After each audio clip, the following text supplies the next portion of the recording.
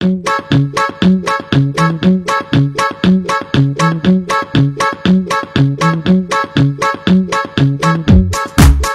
日开播的《医馆笑传》中，陈赫饰演的朱一品是个神医兼备神探，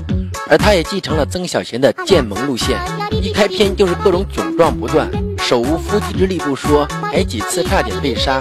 还好他够贱够猛，每次都能化险为夷。搞笑一向是陈赫的特长，此次在《医馆笑传》中，他终于来了个逆袭，